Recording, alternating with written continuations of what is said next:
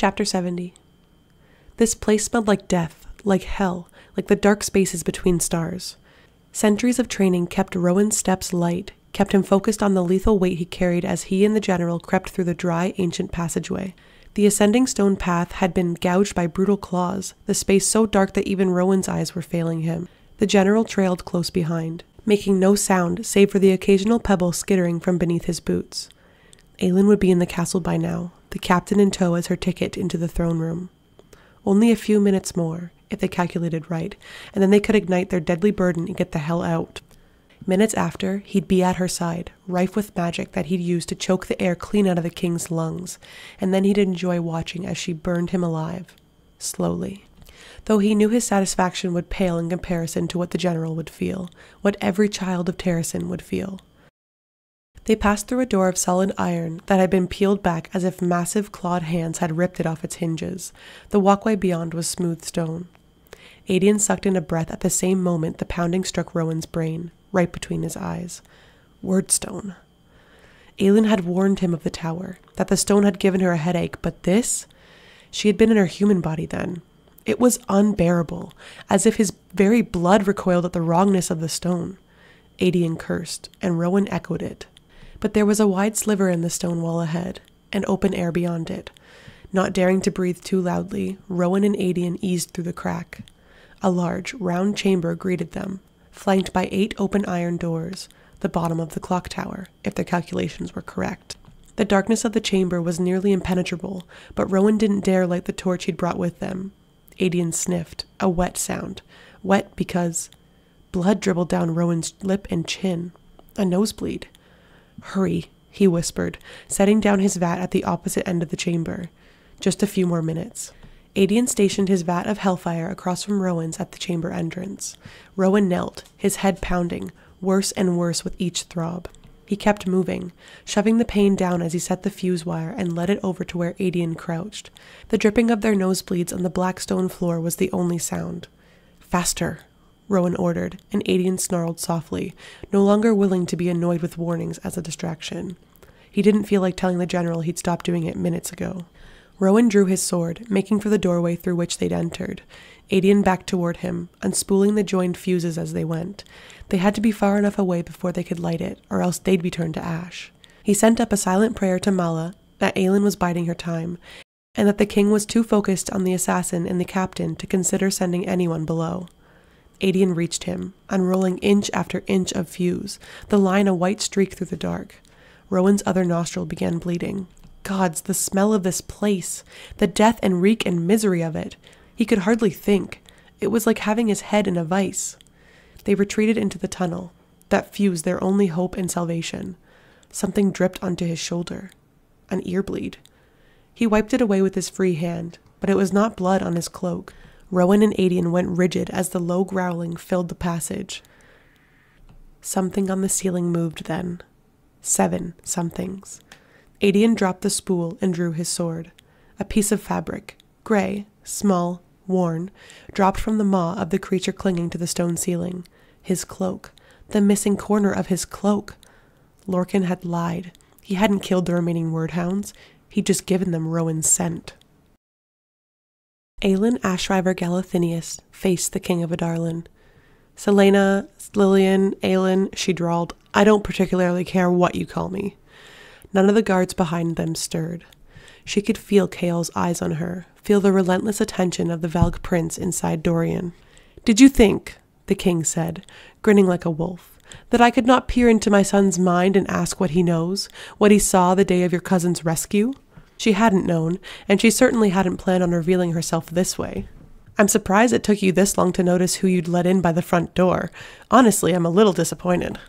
So your people might say of you, what was it like, princess, to climb into bed with my son, your mortal enemy? Dorian didn't so much as blink. Did you end it with him because of the guilt, or because you'd gained a foothold in my castle and no longer needed him? Is that fatherly concern I detect? A low laugh. Why doesn't the captain stop pretending that he's stuck in those manacles and come a bit closer? Chaol stiffened, but Aelin gave him a subtle nod. The king didn't bother glancing at his guards as he said, Get out. As one, the guards left, sealing the door behind them. The heavy glass groaned shut, the floor shuddering. Chaol's shackles clattered to the ground, and he flexed his wrists. Such traitorous filth, dwelling in my own home, and to think I once had you in chains, once had you so close to execution, and had no idea what prize I instead sentenced to Endovier. The Queen of Terrasen, slave, and my champion. The king unfurled his fist to look at the two rings in his palm. He chucked them aside. They bounced on the red marble, pinging faintly. Too bad you don't have your flames now, Aelin Galathynius. Aelin tugged the cloth from the pommel of her father's blade and drew the sword of Orynth. Where are the Wyrdkeys? At least you're direct. But what shall you do to me, heir of Terrasen, if I do not tell you? He gestured to Dorian, and the prince descended the steps of the dais, stopping at the bottom. Time. She needed time. The tower wasn't down yet. Dorian, Chaol said softly. The prince didn't respond. The king chuckled. No running today, Captain? Chaol leveled his stare at the king and drew Damaris, Aelin's gift to him. The king tapped a finger on the arm of his throne. What would the noble people of Terrasen say if they knew Aelin of the Wildfire had such a bloody history? If they knew she had signed her services over to me? What hope would it give them to know that even their long lost princess was corrupted? You certainly like to hear yourself speak, don't you? The king's fingers stilled on the throne. I'll admit that I don't know how I didn't see it. You're the same spoiled child who strutted about her castle, and here I was, thinking I'd helped you. I saw into your mind that day, Aelin Galathynius. You loved your home and your kingdom, but you had such a wish to be ordinary, such a wish for freedom from your crown, even then. Have you changed your mind? I offered you freedom on a platter ten years ago, and yet you wound up a slave anyway. Funny. Time, time, time. Let him talk. You had the element of surprise then. Aelin said, but now we know what power you wield. Do you? Do you understand the cost of the keys? What you must become to use one? She tightened her grip on the sword of Orynth. Would you like to go head to head with me, then, Aelin Galathynius, to see if the spells you learned, the books you stole from me, will hold out? Little tricks, princess, compared to the raw power of the keys. Dorian, Chaol said again. The prince remained fixated on her, a hungry smile now on those sensuous lips. Let me demonstrate, the king said. Aelin braced herself, her gut clenching. He pointed at Dorian. Kneel. The prince dropped to his knees. She hid her wince at the impact of bone on marble. The king's brows knotted. A darkness began to build, cracking from the king like forks of lightning. No, Chaol breathed, stepping forward. Aelin grabbed the captain by the arm before he could do something incredibly stupid. A tendril of night slammed into Dorian's back, and he arced, groaning. I think there is more that you know, Aelin Galathynius, the king said, that too familiar blackness growing. Things that perhaps only the heir of Brannon Galathynius might have learned. The third Wyrdkey. You wouldn't dare, Aelin said. The prince's neck was taut as he panted, as the darkness whipped him. Once, twice, lashings. She knew that pain. He's your son, your heir. You forget, princess, the king said, that I have two sons. Dorian screamed as another whip of darkness slashed his back. Black lightning flitted across his exposed teeth.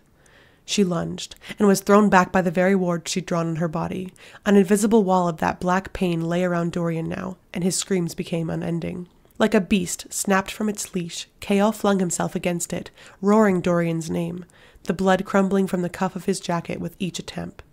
Again, again, again. Dorian was sobbing, darkness pouring out of his mouth, shackling his hands, branding his back, his neck. Then it vanished. The prince sagged to the floor, chest heaving. Chaol halted mid strike, his breathing ragged, face drawn. Rise, the king said. Dorian got to his feet, his black collar gleaming as his chest heaved. Delicious, the thing inside the prince said. Bile burned Aelin's throat.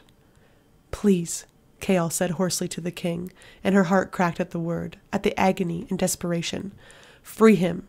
Name your price. I will give you anything. Would you hand over your former lover, Captain? I see no use in losing a weapon if I don't gain one in return. The king waved a hand toward her. You destroyed my general and three of my princes. I can think of a few other Valg who are aching to get their claws into you for that, who would very much enjoy the chance to slip into your body. It's only fair. Aelin dared a glance toward the window. The sun climbed higher.